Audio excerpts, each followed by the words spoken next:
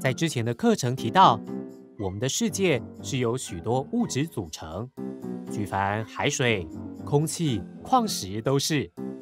我们可以从海水里提炼出食盐，供我们饮食所用；从矿石里提炼出纯金，做装饰使用。或是从空气中将氮气分离出来做保鲜使用。哎，你有没有发现这些物质里可以再分离出物质？其实啊，我们生活中的物质大多是两种或两种以上的纯物质所组成的。像这种由两种或两种以上的纯物质所组成的物质，我们称为混合物，像是海水、空气。矿石里面的物质成分都不止一种，而纯物质则是由单一物质所组成。食盐、纯金、氮气都属于此类。纯物质具有一定的特性，像是沸点和熔点都是固定的，但混合物的性质是会随着混合比例的不同而有所变化。这类的物质就没有固定的沸点和熔点，所以。现在，请你来判断一下，下列哪个物质是纯物质呢？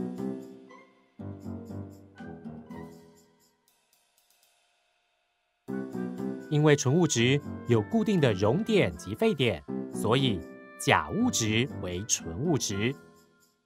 在我们实际的生活中，常需要从混合物中分离出我们需要的物质，例如一开始提到的海水里。提炼出食盐，矿石里炼纯金，从空气中分离出氮气，还有像是从原油提炼出汽油等等。那我们可以用什么样的方式来将这些物质分离呢？接下来我们就仿照从海水提炼出食盐的实验来认识分离的方法。首先，我们先营造出类似海水的环境。在一个透明的杯子里，我们放入食盐、沙碳水，将它们搅一搅。过一段时间后，你发现看不见食盐了，但沙还在。为什么？这是因为食盐和沙对水的溶解度不同所造成的。食盐对水溶解度高，融入了水中，以至于我们肉眼看不见；但沙对水的溶解度低。所以不会溶解在水中。现在营造出类似海水的环境了，那接下来要怎么做才能顺利提炼出食盐呢？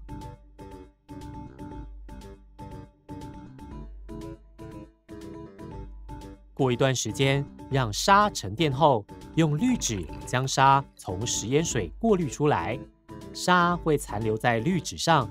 那这是用什么原理？让食盐水和沙分离呢？如果我们将滤纸放大再放大，我们可以看到滤纸上其实有一个又一个的小孔。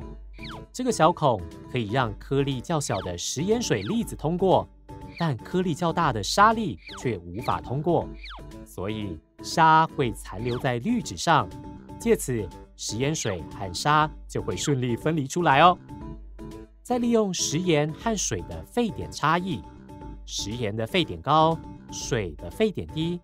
将食盐水加热，加热一段时间后，水会从液态变成气态，蒸发到空气中，我们就可以得到透明闪亮的食盐喽。这整个分离的过程，我们使用了物质的溶解度、颗粒大小、沸点的差异，这些都是属于物质的物理性质。因此，分离混合物的方式是使用物质的物理性质差异来做分离。接下来，让我们小试身手一下，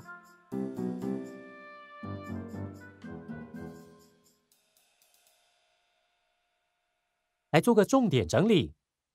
只由单一种物质所组成，称为纯物质；若由两种，或两种以上的纯物质组成的物质，则称为混合物。我们可以用物质间物理性质的差异来分离混合物。最后来思考个小问题：按摩用的精油很多是从植物分离出来的，请问要用什么样的分离方式才能从植物中得到精油呢？欢迎你去找寻答案，留言在下方。我们下次见。